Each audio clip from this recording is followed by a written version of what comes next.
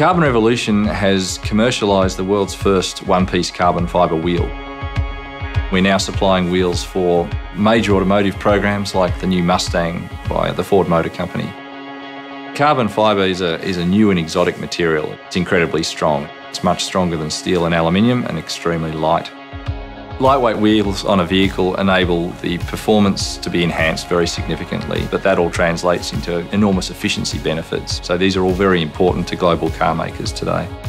We're based on the campus of Deakin University. This is a purpose-built factory just to make carbon fibre wheels. It's the only one of its kind in the world.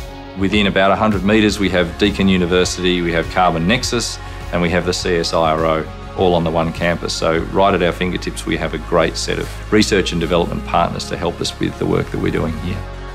I think everyone who's part of this team is incredibly proud of what we've done. It's, it's not often that you get to, to be at the forefront of creating a, a new industry and something that has such a huge market